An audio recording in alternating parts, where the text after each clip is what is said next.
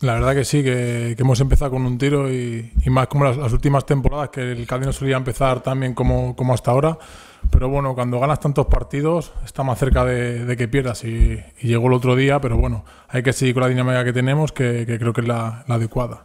Sí, la verdad que este año hay muy buena plantilla, ¿no? Es una plantilla larga y, y con mucha calidad. Yo creo que mucha más calidad que, la del año pasado. Y bueno, el otro día pues tuvimos un fallo en el, en el 44 y cometimos un penalti y a raíz de ahí ya te vas al vestuario un poco cabizbajo y nada más salir ya te meten el segundo y el penalti y vas un poco en contra. Y, bueno, como ya te he dicho, hay que, hay que seguir con la dinámica que, que llevábamos antes, que, que es la adecuada.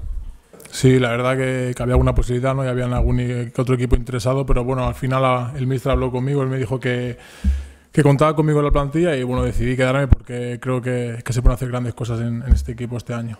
Sí, está claro ¿no? que cuando ganas cinco partidos seguidos, que esto en, hoy en día en segunda división es, es, muy difícil no ganar cinco, cinco. Bueno, el Cádiz lo ha hecho, el año pasado me hizo siete, creo, seis, pero bueno, en este caso es una cosa muy difícil.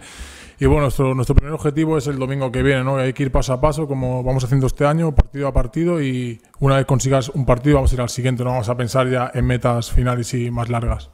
Sí, está claro, y más ahora, ¿no? Que no han tenido un inicio de liga como el nuestro, ¿no? Que están ahí con la duda de no saben muy bien a, lo que juegan y bueno, están sobreviviendo de, la balón parada, ¿no? Yo creo que, que es su baza. Yo creo que de los últimos cuatro goles, bueno, ayer metieron tres goles y los tres fueron a balón parado. Yo creo que esa va a ser la, la baza fuerte de ellos y donde tenemos que estar fuertes nosotros.